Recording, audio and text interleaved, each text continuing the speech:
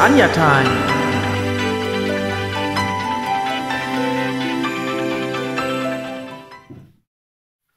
Hallo miteinander.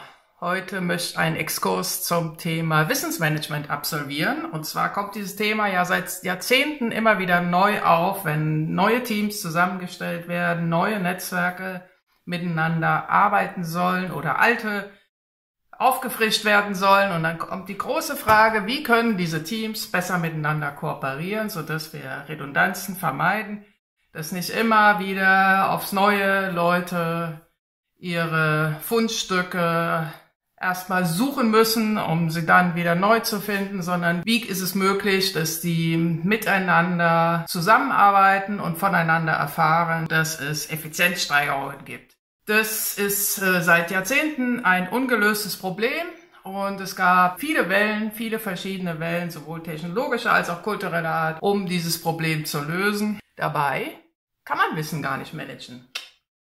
Das ist bekannt, weil es nämlich so in jedem Wissen steckt sowohl explizites, also ausdrücklich formuliertes Wissen, als auch implizites, also Wissen, was eine Person in sich trägt, um dieses explizite Wissen anwenden zu können oder zum Leben zu erwecken. Ich mache das mal an einem Beispiel fest, was vielleicht jeder nachvollziehen kann.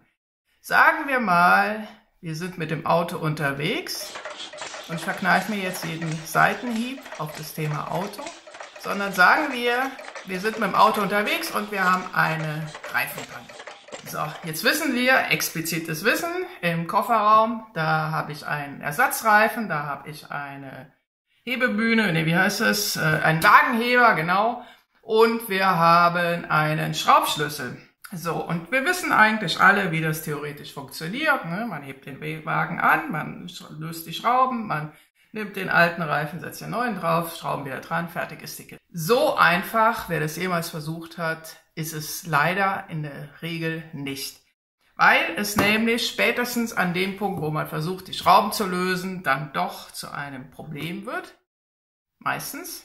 Äh, dann ist mit dem expliziten Wissen ist das äh, Thema beendet, weil es steht keine Gebrauchsanweisung, es steht ähm, auf Wikipedia nicht. Äh, wahrscheinlich werden die nächsten Bekannten es auch nicht zu lösen wissen oder die Mitfahrer, die im Auto sitzen. Und man steht da wie die Ochs vom Berge und versucht, diese Schrauben zu lösen und es klappt nicht. Da kann man draufspringen auf den Kreuzschlüssel, so oft man will, es löst sich nicht, weil uns bestimmte Erfahrungswerte fehlen, weil man es ja viel zu selten macht, wenn überhaupt jemals. Das heißt, im Zweifel wird man den Reifendienst bestellen, dass er kommen möge, bitte, und diesen Reifen zu wechseln. Dieser Mensch, wenn er das dann gelöst bekommt, hat einen gewissen Erfahrungswert, hat implizites Wissen, weiß, wie man solche Schrauben lösen kann und wendet das eventuell an. Vielleicht weiß aber auch der Reifenmensch irgendwann nicht mehr weiter. Vielleicht weiß der Reifendienst irgendwann auch an das Ende seines Lateins und muss seine Kollegen fragen. Und jetzt geht's los irgendwie. Wie löst man eine Schraube, wenn der treffende Mensch, der Experte sogar, nicht weiß, wie es geht? Damit sind wir beim Kernproblem, was wir auf alles mögliche andere übertragen können. Wie funktioniert das? Wie können wir solche Probleme, solche eigentlich banalen Problemstellungen besser gemeinsam lösen? Weil irgendwer wird eine Lösung dafür kennen. Und dafür, wenn wir jetzt mal vom Reifendienst weggehen, wobei auch im Reifendienst könnte man das wahrscheinlich so organisieren. Aber ich will jetzt mal mehr in Richtung Wissensarbeiter gehen, ja, also Menschen, die mit dem Kopf arbeiten und die äh, sehr viel Information die ganze Zeit austauschen müssen und immer wieder mal an so Problemstellungen kommen, die sie alleine noch nicht lösen können und dann auf den Support ihrer Kollegen angewiesen sind. Sofern die das auch wissen. Vielleicht weiß es aber auch nur der Support irgendwo anders in einer anderen Location. Und dann ruft man an und versucht dort irgendwie Hilfe zu bekommen. Und dieses ganze Wissen wird ja seit Jahrzehnten in irgendwelchen Datenbanken verwaltet und man versucht, das ist die große Herausforderung, wie schafft man es, das richtige Wissen zum richtigen Zeitpunkt an den richtigen Ort zu transportieren. So, und da hat sich äh, im alltäglichen Gebrauch, haben sich in den letzten Jahren ja auch einige Systeme herausgebildet, die das Gros der, der Arbeit eigentlich abdecken helfen. Wir haben also, wenn wir das in der Historie sehen, haben wir im Grunde unterschiedliche Systeme. Wir haben einmal äh, früher angefangen, selbst irgendwelche Sachen abzuspeichern, individuell für uns selbst, erst im Aktenordner, später in vergleichbaren Dateiordnern auf unserem Rechner haben dann irgendwelche Ordnerstrukturen uns überlegt, wie wir dann auch die Sachen wiederfinden, die wir irgendwann mal irgendwann gespeichert haben. Und äh, das haben wir ja alle irgendwann mal erlebt, bis es irgendwann an den Punkt kam, dass das äh, sogenannte Web 2.0 aufkam. Und neben Web 1.0 hat man es vielleicht im Netz gespeichert. Dann gab es Systeme, wo man Links individuell für sich speichern konnte. Das heißt, man musste es nicht mehr auf der eigenen Festplatte speichern, sondern konnte es im Netz speichern, aber eigentlich hat das kaum jemand gemacht, weil man wollte das ja immer seins haben. So, und dann kam dieses große Web 2.0, so 2005, 2006 und es kamen diese ganzen Social Bookmarking Systeme auf. So nach und nach hat man verstanden, dass es doch ziemlich klug wäre, wenn man in einem öffentlichen System seine Links speichert, seine Fundstücke und die mit Stichwörtern versieht und andere Menschen auch darauf zugreifen können, um zu sehen, ah, was hat denn Anja jetzt schon wieder gefunden? Irgendwie ist ja interessant. Und so konnte man äh, wechselseitig gemeinsam die kollektive Intelligenz weiter ausbauen. Und da gab es äh, sehr viele unterschiedliche Systeme. Es gab erst Delicious, dann gab es Digo. Das äh, war dann schon ein bisschen, bisschen komfortabler. Man konnte da auch diskutieren zu den Links. Man konnte Gruppen anlegen und so weiter und so fort. Dann äh, kam irgendwann später, na, eigentlich kam es parallel auf, aber irgendwann später gab es so einen Hype darum, das in Evernote zu speichern und dort wiederum Teams zu bilden, dass die miteinander Sachen austauschen können. Ist, glaube ich, bis heute noch bei einigen Teams Teams äh, in der Mache. Äh, OneNote von Microsoft setzt im Grunde da auf und fischt im Grunde die Leute ab, die so gewohnt sind und gerne so arbeiten. Und jetzt haben wir die dritte Generation, im Grunde die im Moment aktuell aufkommt. Das ist dieses äh, Refined wo man quasi aus dem, aus dem Stream, aus dem Feed der Person, wenn ich zum Beispiel einen Link per Twitter empfehle oder irgendwo darauf Bezug nehme, dann wird das in Refined durch die Verbindung von Twitter mit Refine dann automatisch generiert und äh, andere, die mit mir dort vernetzt sind, sehen das, worauf ich da referenziert habe. Da äh, arbeitet man dann mit äh, künstlicher Intelligenz und versucht immer weiter aus diesem Portfolio, was man da selber von sich absondert, Hinweise zu bieten, was andere im Netzwerk in ähnlichen Themenfeldern da auch gepostet haben und empfiehlt es einem. Also die Systeme werden mit anderen Worten immer smarter, immer intelligenter. Das nur mal so zur Einordnung. Also erst persönliche Ablage, dann dieses Social Bookmarking, dass man äh, sich wechselseitig followt und dann gemeinsam, Gründen gemeinsam gemeinsames Ablagesystem äh, bildet. Und das dritte ist halt die künstliche Intelligenz, die einem aus dem aktiven Internetleben heraus dann Empfehlungen zuspielt.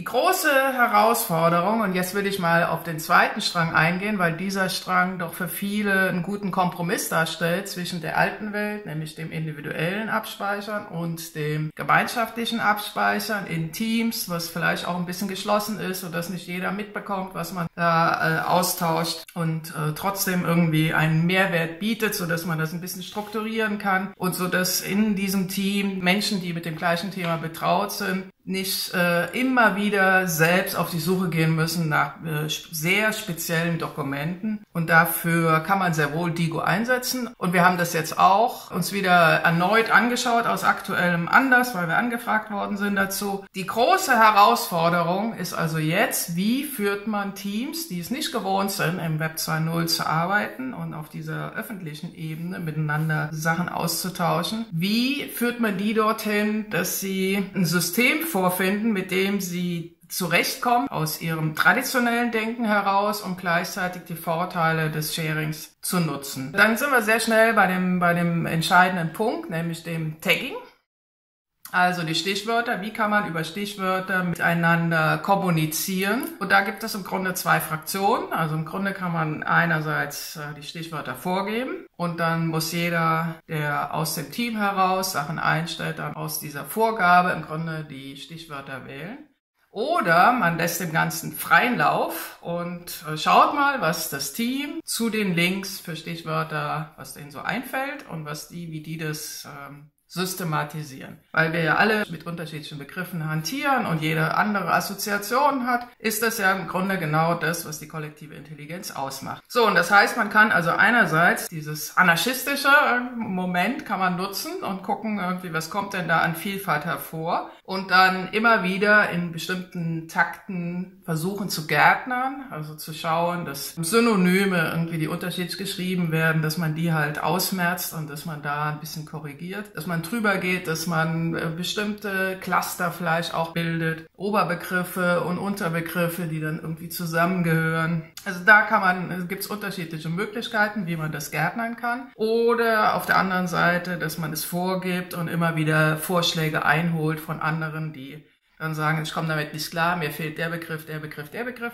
und dann das wieder einsortiert. Ich äh, selber denke, es ist die bessere Variante, die kollektive Intelligenz herauszufordern und die Leute einfach selber taggen zu lassen, auf Teufel komm raus. Man kann ja auch vorgeben, irgendwie mindestens fünf Tags vergeben. Und dann äh, schaut man dann in einem Monats- oder drei Monatsrhythmus, was da rausgekommen ist, so dass man dort das ein bisschen sortieren kann, so dass dann sich daraus wiederum so eine schöne Wörtercloud ergeben kann, aus der man dann wiederum bei Bedarf, wenn man selber was sucht, dann über diese Begriffe dann navigieren kann. Das ist im Grunde so die Einordnung des Wissensmanagements, des, äh, des Versuchs eines halbwegs geordneten Wissensmanagements in dieser Historie vom individuellen Abspeichern hin zu der maschinengesteuerten Intelligenz, wo man auch wiederum sehr viel abgeben muss und die Algorithmen im Grunde füttern muss, um das Ergebnis zu bekommen, was man worauf man zuarbeiten will. Ja, das mal so meine Reflexion zu dem Thema Wissensmanagement für Normalbürger, würde ich jetzt mal sagen. Für kleine Teams, für kleine Netzwerke im Alltagsgebrauch. Vielleicht könnt ihr damit was anfangen. Wenn nicht, dann äh, fragt uns, weil wir können euch vielleicht weiterhelfen. Bis dahin, macht's gut, bye bye, ciao. Und hinten, unten, unten bitte liken und abonnieren.